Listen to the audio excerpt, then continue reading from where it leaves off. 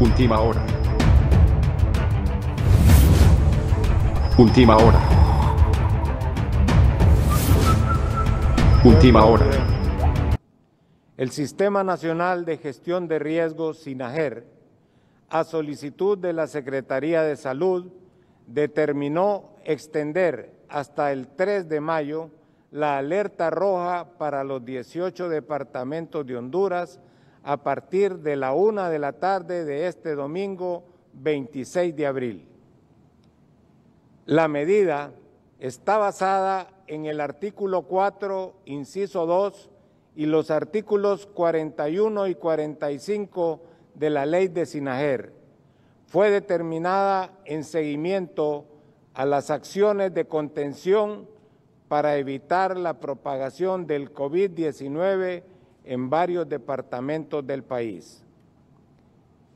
La alerta roja tiene como objetivo facultar al gobierno central para que realice acciones tanto a nivel nacional como local que permitan minimizar el impacto de la emergencia por COVID-19 en la salud de la población hondureña.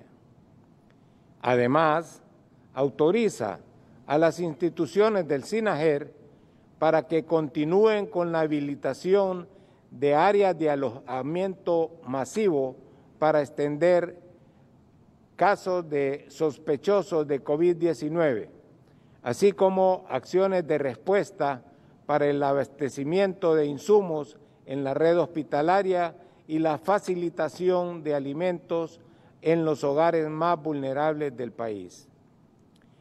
Sinajer mantiene vigente la prohibición de eventos que impliquen la concentración de más de 50 personas, medida que se aplica a los centros de trabajo públicos y privados autorizados. También deben operar cumpliendo los mecanismos de protección para sus empleados y clientes. En este sentido, las instituciones públicas y privadas están obligados a facilitar a sus empleados mascarillas, gel antibacterial para la toma también de temperatura, espacios para el lavado de las manos y jabón y otras medidas sanitizantes que impidan el contagio del COVID-19. A la ciudadanía en general se les recuerda que deben utilizar mascarillas y gel antibacterial cuando realicen acciones comerciales, ya que los supermercados, farmacias, gasolineras y bancos no deben permitir el ingreso de ciudadanos que no cumplan con las medidas de bioseguridad. En el cumplimiento o retraso del acatamiento de antes expuesto, en materia de riesgos se implica la responsabilidad administrativa y civil y penal para los infractores, ya sean personas jurídicas o naturales.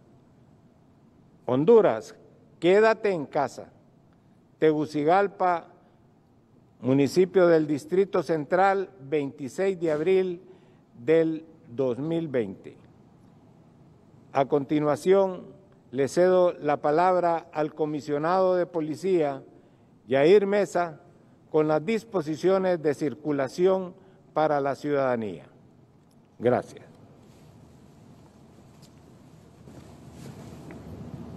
Gracias, señor ministro. Muy buenas tardes. El día de hoy se han tomado decisiones muy importantes para la circulación de todos los hondureños. La Secretaría de Seguridad, a través de la Policía Nacional de Honduras, y en el marco del Sistema Nacional de Gestión de Riesgos, SINAGER, cumpliendo con las instrucciones precisas del Gobierno de la República, continuando con su plan para reducir el contagio de COVID-19 mediante el distanciamiento social obligatorio, ha decidido extender el toque de queda absoluto, verificando que se cumplan las medidas de restricción de circulación de personas que visiten los establecimientos habilitados para atender clientes, a la opinión pública comunica. Primero, para lograr un mayor control preventivo del contagio del COVID-19, se determinó ampliar el toque de queda absoluto vigente desde el domingo 26, de abril a las 3 pm hasta el día domingo 3 de mayo del 2020 a las 3 pm, segmentando a la población conforme a la terminación de los dígitos de su tarjeta de identidad, pasaporte o carnet de residentes para extranjeros, para que puedan abastecerse de alimentos, medicinas, combustibles e insumos en ferreterías, realizando sus trámites de manera ordenada durante los días lunes, martes, miércoles, jueves y viernes, con horarios de 7 de la mañana a 5 de la tarde, quedando de la siguiente manera. Lunes, de 9 de la mañana a 5 de la tarde, terminación 1 y 2. Martes, terminación 3 y 4. Miércoles, terminación 5 y 6. Jueves, terminación 7 y 8. Viernes, terminación 9 y 0.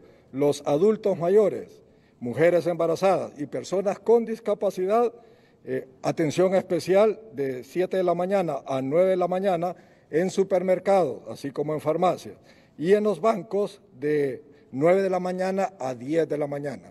Segundo, esta medida es aplicable para supermercados, gasolineras, farmacias, bancos, cooperativas y ferreterías, los cuales permanecerán abiertos únicamente durante los días programados, dotando de manera obligatoria a sus empleados de mascarillas, gel de manos y en las entradas uso de termómetros para control de fiebre. Para ser atendidos los clientes deberán portar mascarilla de manera obligatoria. Tercero, los días sábados y domingos queda prohibida la circulación de vehículos, salida de personas a nivel nacional, salvo las excepciones ya establecidas en el decreto ejecutivo PCM 21-2020, quienes deben justificar ante la autoridad competente su movilización, portando su identificación y respectivo salvoconducto vigente durante esta emergencia.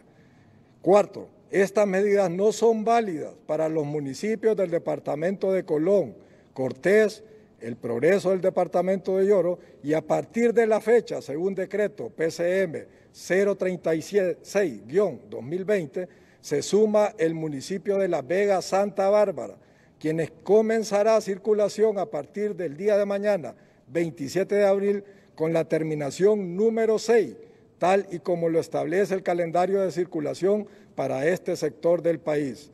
5. Los salvoconductos otorgados por el Comité de Excepciones siguen vigentes.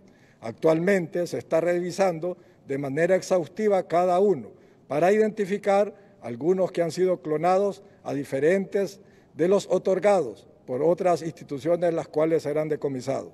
La Policía Nacional de Honduras reitera que las medidas aquí descritas tienen como fin único la preservación de la vida, así como la intensificación de acciones para que la población acate las recomendaciones giradas por la Autoridad en Prevención del COVID-19, por lo que se le recuerda que el uso de las mascarillas es obligatorio al salir de sus casas. En lo total, 26 de abril del 2020, nuestro compromiso servir y proteger. Última hora.